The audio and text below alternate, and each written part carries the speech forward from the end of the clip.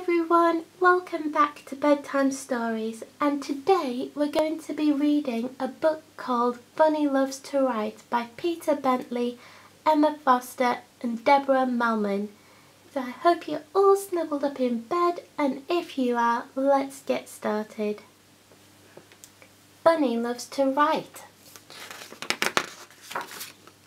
One day Buster was going out to play. Always carrying a book, chuckled Mum. What is it this time, Buster? An adventure? A ghost story?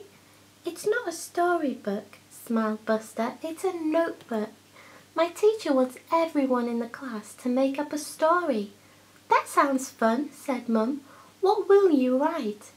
I don't know, said Buster. I can't think of anything.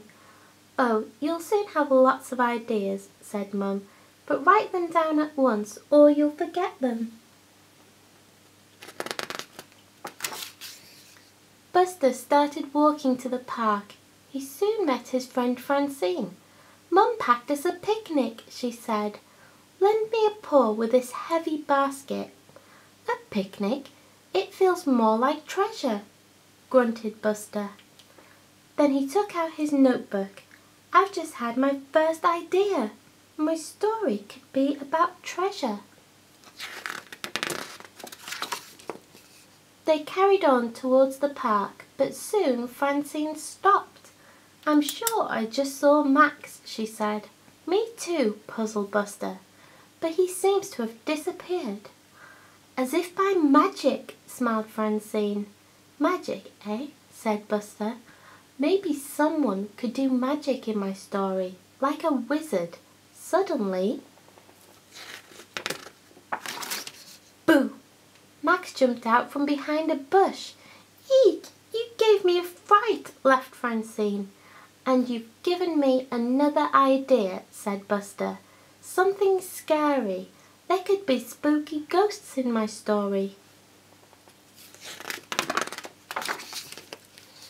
The three friends started crossing a stream near their friend Sam's house when, splash! Phew, grinned Buster at least my notebook didn't get wet. And I've just had another idea.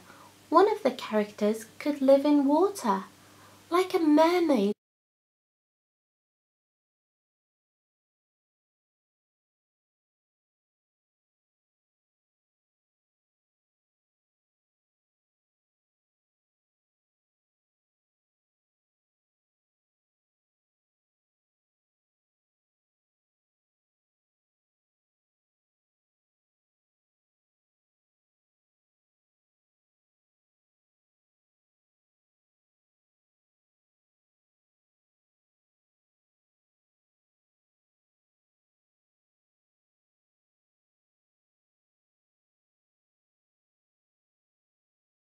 Buster's sister. Hi everyone, she said. Hey Buster, what are you writing? I'm writing a story, said Buster. I've had lots of ideas and now I'm making them into a proper adventure. Cool, said Bella. Can we hear it? Okay, said Buster, but it isn't finished yet. Buster opened up his notebook and began to read. Once upon a time, there were a brother and a sister named Gus and Ella. That's you and me. Right. They lived in a village next to a friendly wizard. A wizard? I love stories about magic. The wizard let the children play in his haunted castle. Ooh, ghosts. Great.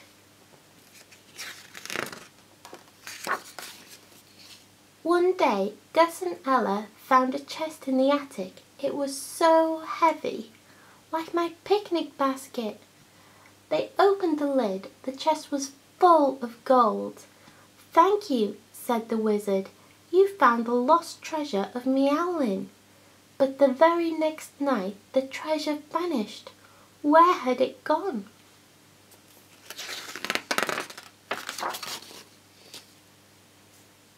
In castle moat lived a frog named Freya.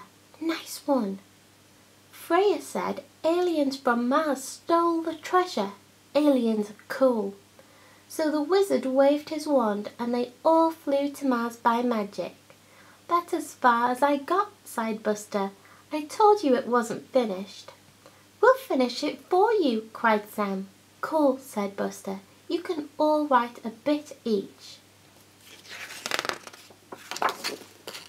Everyone took it in turns writing in Buster's notebook. Okay, he said when they had finished. Here's the rest of the story. The wizard tricked the aliens and took back the chest. That's my bit. Everyone snuck into a rocket and escaped. Sorry, I can't spell spaceship. That doesn't matter, it's a great idea.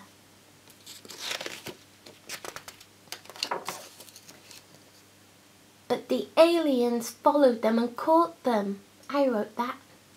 Then a ghost scared the aliens away for good. I wanted to get a ghost in.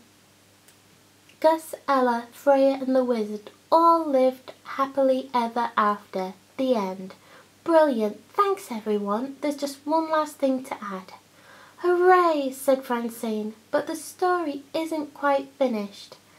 Isn't it, said Buster. What happened next? Easy, laughed Francine. They all eat the treasure. And that's the end of the book. So I hope you have enjoyed reading this book with me. If you have, please be sure to give the video a thumbs up, subscribe to my channel so that you can watch lots more bedtime stories with me, and please comment below if you have any suggestions for other bedtime storybooks we can read together. Thank you for watching. Good night.